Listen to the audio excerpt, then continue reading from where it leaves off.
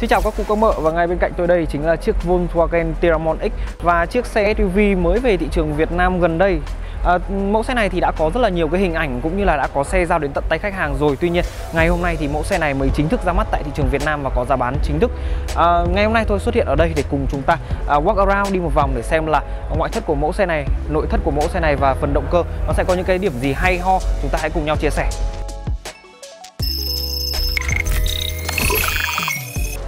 Và quả thật là sau khi mà tận mắt chứng kiến mẫu xe này ngoài đời thật thì à, cái cảm giác đầu tiên của tôi đấy chính là phải thốt lên rằng wow cái mẫu xe này nó mang một cái phong cách trông mẫu xe này hố nó cũng cứng cáp nó cũng rất là hiện đại trông nó khác xa với cả những cái hình ảnh mà trước đây tôi được từng được xem.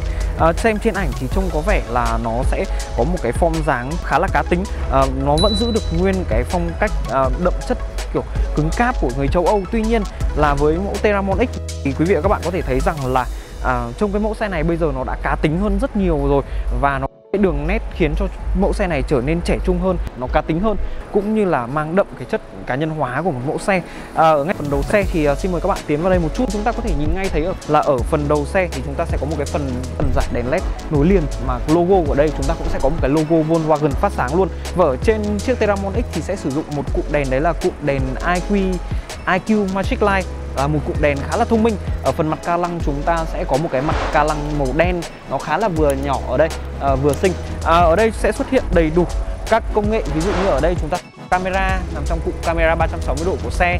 Ngoài ra sẽ có những cái phần cảm biến xung quanh. Phần nắp capo chúng ta sẽ có những cái đường gân dập nổi hai bên song song đối xứng ở đây ngoài ra thì ở trên phần nắp capo sẽ có hai cái hốc hút gió ở trên tuy nhiên đây là hai hốc hút gió giảm À, và bây giờ thì xin mời các bạn tiến sang phần ngang xe để chúng ta cùng ngắm nhìn cái mẫu xe này từ bên phía bên ngang để thấy là mẫu xe này nó to đẹp và hoành tráng như thế nào. Ờ, thì ở phần ngang xe này chúng ta có thể dễ dàng nhận ra đây là một mẫu xe à, mang cái phong cách kiểu SUV coupe. À, nó sẽ được hơi vuốt ở phần đuôi một chút. Đó, các bạn có thể à, quan sát ở đây là cái phần đuôi nó sẽ được hơi vuốt xuống một chút, à, mang cái phong cách nó cá tính hơn, nó bỏ đi cái sự vuông vức mà thay đổi vào đó là một cái cá tính hơn nhằm thu hút khách hàng trẻ hơn. Ở phần ngang xe chúng ta có thể thấy là ở phần thân xe cũng có những cái đường gân dập nổi chạy suốt từ thân xe từ đầu đèn tận đây nó có đường cong uốn lượn rồi đường gân dập nổi trông rất là thể thao rất là mạnh mẽ. Nhìn xuống phần phía dưới một chút thì chúng ta sẽ có một phần à, mâm lốp trông rất là to bản cũng như là hoành tráng ở đây. Ờ, à, trong chiếc xe này ở phần bên ngoài thì tôi cảm giác như là cái phần mâm lốp này nó quá sức là to đi nó trông rất là hầm hố và mạnh mẽ. Nhưng ở đây chúng ta sẽ có một thông số lốp đấy là 265 uh, xoẹt 45R21 những cái lạc bộ vành 21 này thì nó trông so với mẫu xe này nó mang cái vẻ đẹp rất là thể thao. À, phần vành này ở hai phiên bản của mẫu xe này nó sẽ có một chút khác biệt. Đấy là đây là phiên bản cao cấp phiên bản uh, platinum thì nó sẽ có điểm khác so với phiên bản luxury ở dưới kia. Ở đây chúng ta sẽ có một cái cụm phanh màu đỏ. Đấy nó thể hiện uh, làm gia tăng cái tính thể thao. Tuy nhiên ở đây thì tôi cảm giác là có vẻ là cái phần đĩa phanh thì nó sẽ hơi bé một chút so với cả mẫu xe này ở trên này thì chúng ta sẽ cùng nhìn tiếp theo. Đấy là một phần gương chiếu hậu phần gương chiếu hậu ở đây thì ờ, đầy đủ tính năng có mắt cam trong hệ thống camera 360 tích hợp đầy đủ mọi thứ. À, có cả cảnh báo điểm mù cũng như là cảnh báo ờ, các loại cảnh báo ở trên gương. Đó. Ờ, khi mà tiến ra phần đuôi xe của mẫu Teramon X này thì chúng ta sẽ thấy rằng là cái mẫu xe này nó có một cái phong cách và cái cá tính rất là ở phần cánh gió này chúng ta cũng sẽ có một cái phần vuốt rất là quen thuộc của những cái mẫu xe coupe. Ở phần cụm đèn hậu các bạn có thể thấy rằng đây là một cái cụm đèn hậu trông nó rất là nổi bật, nó rất là cá tính và nó được làm theo dạng kiểu đèn led và nối liền sang hai bên. Ở phần này sẽ là phần nhựa trong suốt nhé chúng ta có thể nhìn thấy mà và cảm giác nó mang lại một cảm giác nó 3D hơn một chút. Ở đây đằng trước chúng ta có logo Volkswagen phát sáng màu trắng thì ở đằng sau chúng ta sẽ có logo Volkswagen phát sáng màu đỏ, cùng với dòng chữ Teramon X và rất nhiều giải đèn led ở phía đằng sau này. Có lẽ là khi nào mà xe đi trên đường và xe phanh thì những cái cụm đèn này nó sẽ bắt đầu phát sáng hơn nữa. Ở đây chúng ta có cả đèn lùi, đèn xi nhan được tích hợp cùng nằm trong cụm đèn này luôn. Tôi khá là ấn tượng với cái cụm đèn này bởi vì nó đem lại một cái cảm giác khác biệt so với những chiếc Volkswagen trước đây đã rực ra mắt ở đây chúng ta cũng có cả một dạ à, cụm đèn phản quang ở phía dưới thấp này. Nó sẽ giúp cho chúng ta có khi mà đi sau mẫu xe này sẽ có dễ dàng quan sát là mẫu xe này đang ở đâu. Ngoài ra tôi thấy ở đằng sau này cũng có rất nhiều các cái cảm biến xung quanh phía sau này và hai cụm ống xả được làm chìm ở hai bên này khiến cho mẫu xe này đem lại một cảm giác nó mạnh mẽ và nó thể thao. Bây giờ chúng ta hãy cùng mở cốp của mẫu xe này để xem là uh, phần cốp phần khoang chứa đồ của mẫu xe này sẽ có những gì điểm gì đặc biệt um, chiếc xe này có vẻ là không có tính năng đá cuốc nhưng mà chúng ta cũng sẽ có một phần cốp điện để mở lên nó khá là nhẹ nhàng. Và thực sự là wow đây các bạn à, xin mời các bạn hãy nhìn vào đây một chút thì chúng ta thấy rằng là cái chúng ta có một cái khoang chứa đồ nó rất là rộng rãi ở đây. Nó có thể để rất nhiều các hành lý khoảng 2 đến 3 chiếc vali to. À, tôi có thể ngồi vào đây một chút đó. Hoàn toàn là chui vừa chui lọt cái à, phần cốp của chiếc Teramon X này ở trên này chúng ta cũng sẽ có cả một phần cốp mềm để có thể để được những cái đồ nhỏ nhỏ lặt vặt như kiểu là à, người đằng sau muốn để áo để các thứ chúng ta có thể để ở đây. Đó. Ở phần dưới này thì chúng ta sẽ có lốp dự phòng và cục ừ, à, đây chắc là sẽ là cục xúc à, ờ, phần giữ lốp dự phòng ở đây. À, cũng sẽ cái quang để hốc để chứa những cái công cụ dụng cụ mà chúng ta cần thiết khi mà di chuyển. À, khi mà tiến vào khoang nội thất của chiếc Teramon X thì cá nhân tôi thấy rằng là nó đem lại một cái cảm giác quen thuộc của những cái mẫu xe châu Âu. À, xung quanh chúng ta sẽ có rất nhiều các cái vật liệu được làm bằng da cũng như là cái cách bài trí và thiết kế nội thất này nó, nó khá là tối giản, nó khá là tối ưu cho những cái hành động của chúng ta khi mà ngồi trong mẫu xe này và chúng ta có thể tập trung đến cái việc lái xe và trải nghiệm những cái mẫu xe này. Thì uh, khi mà cầm nắm và sờ vào phần vô lăng thì ở đây chúng tôi sẽ có một cái vô lăng đê cắt được ờ, tạo hình nó trông nó thể thao hơn. Ờ, cùng với cái cách mà phối các cái vật liệu ở trên thì sẽ là phần da. Tuy nhiên ở hai phần bên này thì nó sẽ là mỗi phần da nó có các cái lỗ thoát khí để chúng ta cầm nắm nó sẽ tạo ra cái sự công thái học hơn cho chúng ta. Chúng ta có hai cái phần gồ ở đây để chúng ta cầm nắm. Khi mà lái xe nó cũng sẽ là một cái điểm tì. Nó là cái tính chất giúp chúng ta cảm thấy là mẫu xe này nó thể thao hơn và cái độ cầm nắm của nó cũng tốt hơn. Ở phần uh, vô lăng này thì chúng ta sẽ có tích hợp đầy đủ các cái tính năng. Và dạng phím bấm ở đây cũng sẽ là phím bấm uh, nó nó có vẻ là nó có cảm ứng. À không nó chỉ bấm thôi các bạn ạ. À, nó không phải là phần cảm ứng. À, nếu mà có cảm ứng ở đây nữa thì nó cũng sẽ khá là giống trên những cái chiếc xe Mercedes. À, chúng ta có đầy đủ những cái tính năng an toàn ở đây tính năng hỗ trợ lái ví dụ như cruise control ACC kiểm soát hành trình chủ động thích ứng này ờ, rồi uh, kiểm soát giới hạn tốc độ này và cũng như là điều chỉnh âm lượng rồi tất cả các cái tính năng mà chúng ta cần ở đây phần đằng sau ờ, này thì sẽ là hai cần gẩy à, hai cái lẫy gạt của chúng ta. Tuy nhiên là nó sẽ khác một chút đấy chính là ở phần lẫy này ngoài việc là điều chỉnh xi nhan ra thì chúng ta còn có thể điều chỉnh được cả à, các cái chế độ đèn ở đây. Đó có thể điều chỉnh được các chế độ đèn ở đây như tôi có thể thấy là set auto này set đèn cốt đèn pha này rồi. À, cái độ chiếu xa của đèn chiếu xa chúng ta có thể set được ở đây.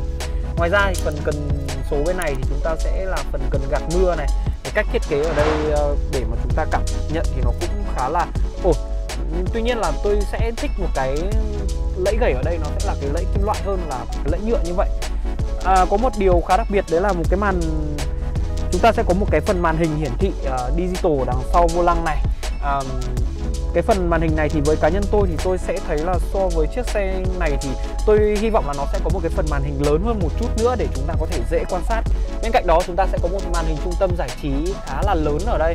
À, có độ hiển thị khá là sắc nét cách thiết kế bố trí trông cũng rất là châu âu rất là xịn sò. Nó có thể thấy rằng là độ cảm ứng cũng rất là mượt uh, hiển thị tốt nét tốt có tích hợp đầy đủ android auto apple carplay đó chúng ta có thể điều chỉnh những uh, kể cả những cái công nghệ kiểm soát hỗ trợ người lái ở đây. Đó ngoài ra thì có thể uh, điều chỉnh những cái kiểm soát giữ làn đường này ACC này. Đó ngoài ra thì điều chỉnh các cái liên quan đến giải trí media. Ừ, có một điểm khá hay trên Teramon X đấy chính là những cái phím bấm phím điều khiển ở đây thì đều là dạng uh, cảm ứng chúng ta có thể ấn vào. Đó. Ngoài ra chúng ta có thể thấy ở đây là cái nút hỗ trợ cái lái này rồi Ờ, uh, back menu đây có thể là sẽ là cái tính năng đỗ xe tự động ở trên mẫu xe này. Đây có thể uh, các bạn có thể thấy là cái nút đỗ xe tự động của chúng ta sẽ nằm ở phần này nhá. Ngay phần uh, điều khiển ở đây sẽ có cái ba cái nút một là nút các cái tính năng hỗ trợ này rồi uh, tự động đỗ xe này đó tiếng cảnh báo. Ở phần hộc dưới này thì chúng ta sẽ có một cái ngăn hộc để chứa điện thoại à, được thiết kế khá là nhỏ xinh. Ở đây chúng ta có sạc điện thoại không dây này hai cổng đầu kết nối USB Type à, C và USB Type A có thể để được khoảng hai cái điện thoại ở đây hoặc là chìa khóa hoặc là à, vé cầu đường tiền lẻ. Chúng ta có thể để ở đây khá là tiện.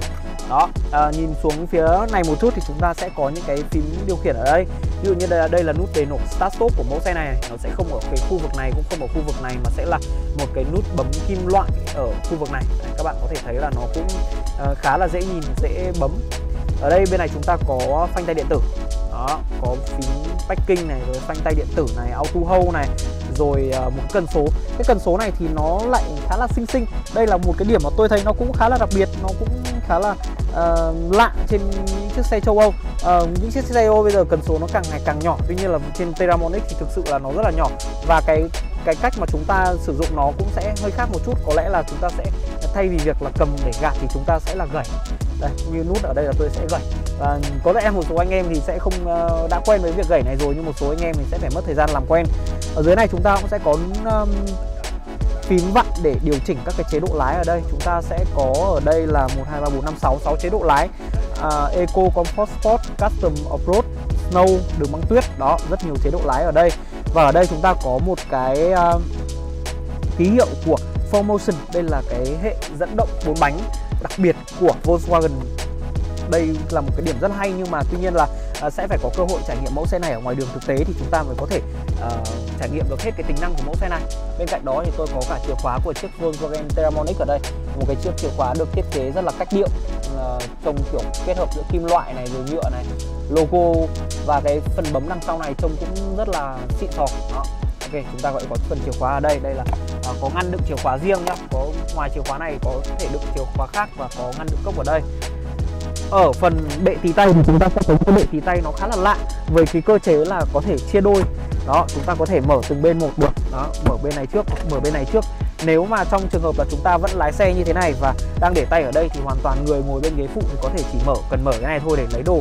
Họ sẽ không làm mất tập trung của chúng ta. Ví dụ chúng ta đang ngồi đây mà phải mở cả cái này lên thì chúng ta sẽ phải thay đổi tư thế. Đấy thì đây cũng là một cái điểm khá hay. Tuy nhiên là cái phong cách cơ học này thì tôi um, muốn là nó sẽ có một cái phong cách nó, nó khác hơn một chút thì nó sẽ mang tính chất xịn sò hơn các bạn có thể nhìn thấy ở đây là phần ờ, da ghế của chiếc Teramon X này cũng được thiết kế với đầy đủ các cái lỗ thông thoáng khí ở đây. Hàng ghế trước chúng ta sẽ có chỉnh điện 8 hướng cùng với đó là các cái tính năng sửa sấy ghế. À, phần da thì được thiết kế theo ờ, dạng kiểu đường may chỉ đỏ. Ở phần bên này chúng ta có thể thấy nhìn thấy các cái họa tiết carbon ở đây. Nhìn nó trông cũng rất là thể thao nó mang lại tính chất thể thao phối hợp giữa cái phần chi tiết carbon này cùng với cái phần ghế màu xám. À, bây giờ tôi sẽ ngửa cái ghế này lên một chút để các bạn có thể thấy rằng cái thiết cái ghế này thiết kế nó cũng khá là đặc biệt một chút. Ờ, ở phần uh, các bạn có thể nhìn thấy là giữa hai giữa cái thân của chúng ta thì nó sẽ có cái bệ đỡ nó khá là lớn khá là dày. Ờ, để khi mà chúng ta đi thì nó sẽ khá là ôm người. Đây cái phần bệ đỡ nó khá là dày nhá. À, mình sẽ rất là thích cái ghế này khi mà ngồi thì chúng ta lắc như thế này nó sẽ đem lại cảm giác ôm người và thể thao. Một phần nữa đấy chính là phần uh, tựa đầu này các bạn có thể tiến vào đây một chút để nhìn rõ cái phần tựa đầu này hơn. Phần tựa đầu này sẽ có đường may chỉ đỏ ở đây và được làm rất là dày. Khi mà chúng ta tựa vào đây thì chắc chắn là cái cảm giác nó sẽ rất là êm. Thay vì việc là chúng ta sẽ phải có một cái gối để mà uh, để vào cổ như này gối rời ấy, thì chúng ta sẽ được thiết kế một cái phần gối rất là êm ái ở đây. Ok và tiếp theo thì chúng ta sẽ có một phần cửa sổ cửa sổ trời toàn cảnh uh, cửa sổ trời toàn cảnh ở đây. Và tất cả những cái điều khiển này nó đều sẽ là cảm ứng nhé. Đó mình sẽ để cho các bạn xem nó sẽ là phần cửa sổ trời điều khiển cảm ứng. Đó. tuy nhiên thì chắc là cái ắc quy của mẫu xe này nó đang có nó khá yếu rồi thì nó sẽ hơi khó bút một tí nhưng mà đây cửa sổ trời toàn cảnh cảm ứng. Khi mà quay thì tôi sẽ muốn là mở nó ra để cho không gian nó được thoáng hơn. Đó hay là cởi sổ trời toàn cảnh này ra tận cả phía đằng sau. Có rèm kéo ở đây. Đó ok bây giờ chúng ta sẽ cùng tiến xuống hàng ghế thứ hai để cùng xem là à, mẫu xe này. À trước hết khi trước khi tôi tiến xuống hàng ghế thứ hai thì uh, xin mời các bạn tiến sang bên phía này của bên này của tôi một chút để chúng ta cùng uh, chia sẻ một số thứ hay ho bên này. Chúng ta sẽ thấy rằng là Teramon X nó thực sự nó đem lại một cái cảm giác nó khác biệt và nó hiện đại hơn rất nhiều. Giống như các cái cái phím mà điều chỉnh các cái cụm đèn ở đây nhá, các số đệm, chế độ đèn ở đây các bạn có thể lấy. Đây là cũng là nút cảm ứng này chứ đây không phải là nút đấy đâu. Ừ, chúng ta có cả sấy kính, chúng ta điều khiển tất cả mọi thứ ở đây, sấy kính sấy kính trước, sấy kính sau, thay đổi nhiệt độ.